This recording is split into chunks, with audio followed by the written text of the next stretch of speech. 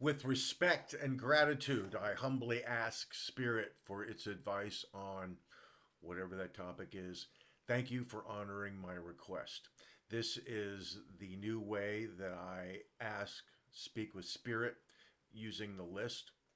Uh, with respect and gratitude, I humbly ask Spirit for its advice on so on and so forth. Thank you for honoring my request. Um, while I was never rude to Spirit, actually, I was often rude to Spirit, saying, I just want to know this. I just want to know this. Just tell me this. And oftentimes, over the last 25 years, Spirit would sometimes say, Someone here is being very entitled, very rude, very this. I thought it was an archon describing itself, but it was me. I've always said thank you, but I've never approached Spirit with humility and respect unless I was truly uh, scared about something and I, I really felt humbled. Uh, anyway, the moment I did this, um, I asked Spirit what it thought about this new approach. It said a stalwart champion, it's a real winner, and then it said a new broom sweeps clean, which means it really uh, endorses the uh, this new method. Um, I was wondering why so many people were coming into my life uh, so entitled, so narcissistic, just taking from me this, taking from me that, just taking, taking, taking, taking, zero gratitude, and, and it was a mirror. You know, life is a mirror, and I was like, I just couldn't get it, you know, because that's not me.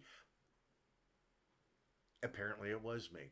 Um, because it feels really weird. It's the, and this this approach with respect and gratitude. I humbly ask Spirit for its um, advice on so on. Is the ultimate not doing of the entitled uh, flyer's mind. Uh, our minds tend to be very nasty, very entitled, very me, me, me. Just tell me now, just tell me now, and everything will be fine. Just tell me now, just tell me now. Just give me the information I need.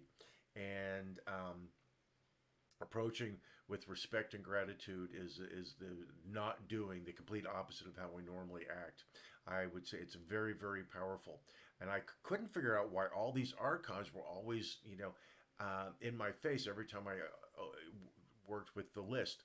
I believe they, uh, they they were just reflecting my energy, and my energy. Um, I believe was very entitled because I did not approach spirit uh, in words um, uh, with respect and gratitude and, and humility. Um, I think I just uh, was just a little too entitled.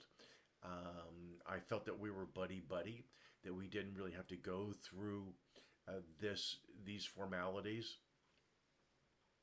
But I think I was wrong because if someone just came up to me and said, "Hey, man, I know you know how to, you know, write a jingle. Just tell me how to write a jingle, and, and I'll leave." And it's like, you say please? You know, I, I know how to do a lot of things. Uh, that's what I was doing with Spirit. I was just saying, hey, hey, I know you know the answer. Just tell me, and and I'll go. I got things to do. I got an appointment here at twelve. So just just tell me, and then we're good. Okay? Like it's it's Spirit's job to tell me this stuff. So try it. I bet you you'll be amazed. There you go. Thanks for watching. See you again soon.